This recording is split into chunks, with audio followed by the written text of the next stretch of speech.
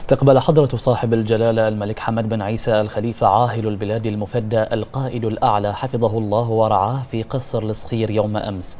استقبل معالي السيد جون رود وكيل وزارة الدفاع الأمريكي للسياسات. يرافقه الفريق أول كينث ماكنزي قائد القيادة المركزية الأمريكية بمناسبة زيارته للمملكة للمشاركة في أعمال مؤتمر حوار المنامة.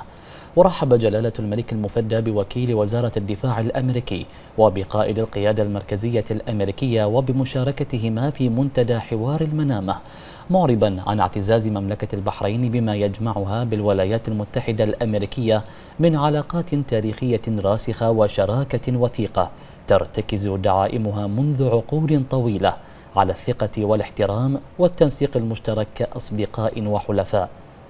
مشيدا جلالته بالتقدم المستمر الذي تشهده هذه العلاقات في جميع المجالات في ظل الحرص المتبادل على تطويرها وخاصة على صعيد التنسيق العسكري والتعاون الدفاعي.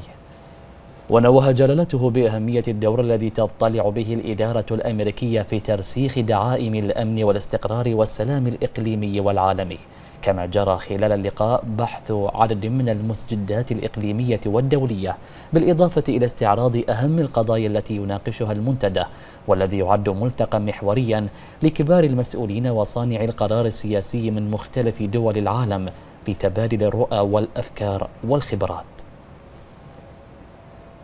من جانبه أعرب وكيل وزارة الدفاع الأمريكي عن اعتزازه بعلاقات البلدين وبالتعاون الوثيق بينهما وبين الشعبين الصديقين مؤكدا الحرص على تعزيزها باستمرار كما أعرب عن تقديره لجهود جلالة الملك المفدى في توثيق روابط الصداقة التاريخية المتميزة التي تجمع بين البلدين الصديقين مشيدا بالدور الحيوي لمملكة البحرين ومساهمتها الرائدة في تعزيز الأمن والاستقرار ودعم السلام في المنطقة.